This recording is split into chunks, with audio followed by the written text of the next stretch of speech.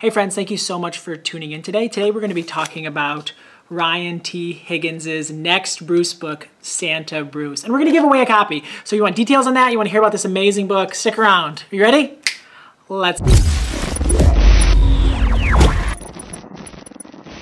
Before we get started, let's get this giveaway thing taken care of. Down below in the comments, I want to know what is a book that you love to read around the holidays. Maybe it's Christmas, maybe it's Kwanzaa, maybe it's Hanukkah, maybe it's Thanksgiving, whatever holiday that you're thinking, leave a comment below. What is like a holiday book that you love to share with your own kids or maybe your students? Leave it down in the comment below. We'll give away one copy. Disney Hyperion has agreed to give away one copy of Santa Bruce to a lucky winner. I'll randomly draw a name and we'll get you a book. It'll be exciting because this book is so much fun. Bruce, if you haven't read Mother Bruce, Hotel Bruce, or Bruce's Big Move, you are really, really missing out because Bruce is one of the most amazing characters, I think, right now in children's literature. I think that kids today, the kids sitting in our classrooms and the kids sitting in our homes and the kids being born into hospitals all over the country, when they grow up and have their own kids, they're going to be buying them Bruce books because Bruce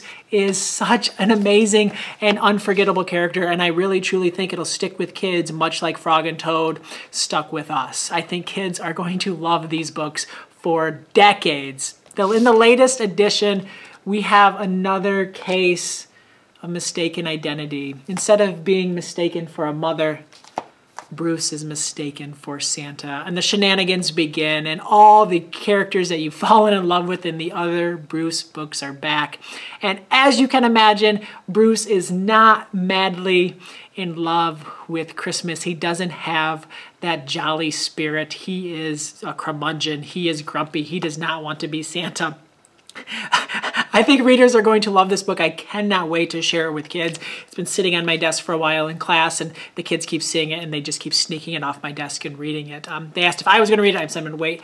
I'll wait a little while, but they just keep sneaking out and sneaking back, which is exactly what we want. We want kids to want to read books and to just love a character so much that they can't help but pick up that book Santa Claus Bruce is going to be an amazing, amazing book in classrooms and in homes.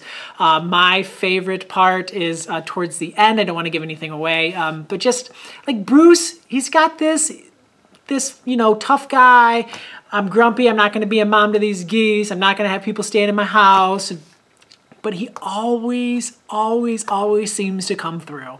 So if you're looking for a great book to read this winter, if you're looking to see the next chapter, in the unforgettable character Bruce. Give it a read. give it a read and leave a comment down below. What are your favorite holiday books? Thank you so much for tuning in. Have an awesome tastic day. Happy, happy reading.